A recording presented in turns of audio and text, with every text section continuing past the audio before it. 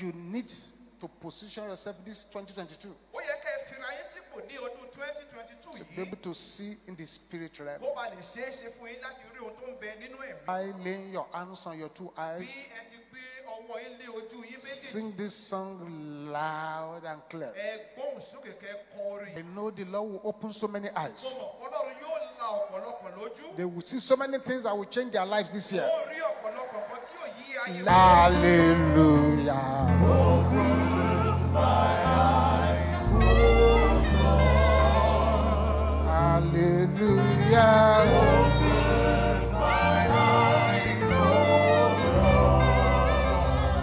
Hallelujah. Hallelujah.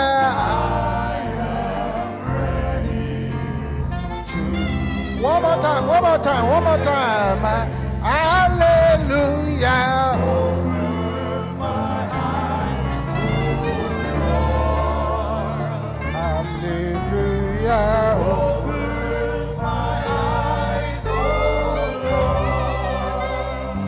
Hallelujah.